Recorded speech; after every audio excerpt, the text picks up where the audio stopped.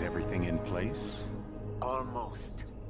What do you mean, almost? I have spoken with Montreal.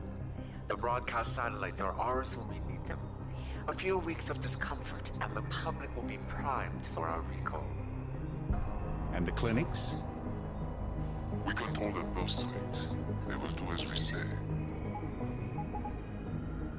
I still think we should wait for the referendum.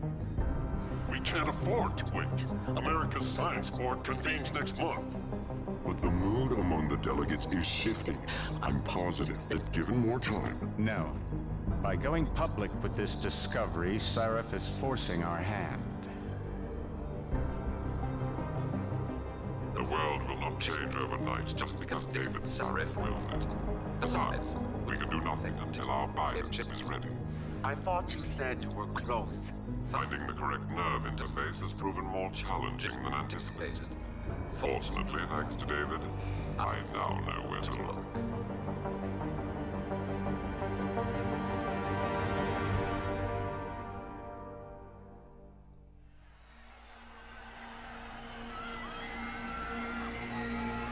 And in Washington tonight, crowds continue to gather in front of the Capitol.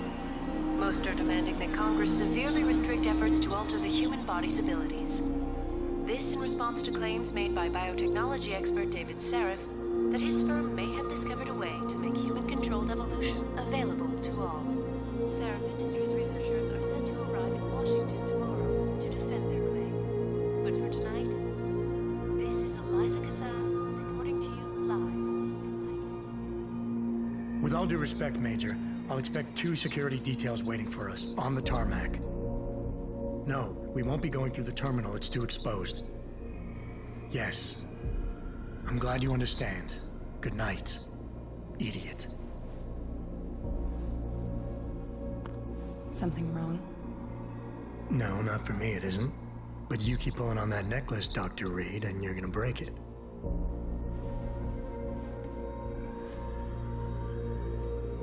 Come on, Meg.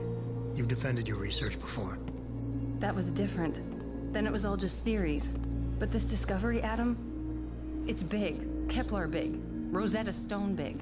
So, what's the problem? They'll want to know how I found it. Megan, we're leaving for DC and Adam, you're there. Good, good. You need something, boss? Yeah, I want to go over your security plans for Washington before we leave. You and your team ready to go, Megan? Almost, David. We're just rechecking data. Well, make it snappy. We have to actually be in Washington before you can dazzle all those federally appointed know-it-alls. I hate it when he does that. Come on, I'll walk you part way.